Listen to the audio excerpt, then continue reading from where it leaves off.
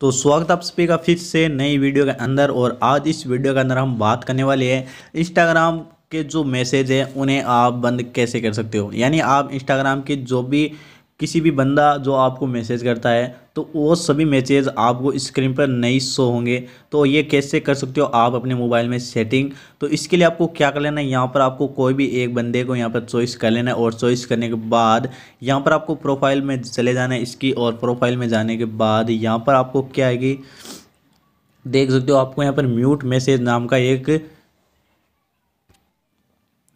Mute message नाम का एक फीचर दिखाई देगा। तो आप जैसे इसको ऑन करोगे तो आपको क्या है कि यहाँ पर जो भी आपका मैसेज होगा, वो यहाँ पर स्क्रीन पर शो नहीं होगा। यानी आप जब आप इसकी प्रोफ़ाइल में आओगे, तभी आपको क्या है कि इस मैसेज, इसका जो मैसेज है वो यहाँ पर आपको दिखाई देगा। ठीक है?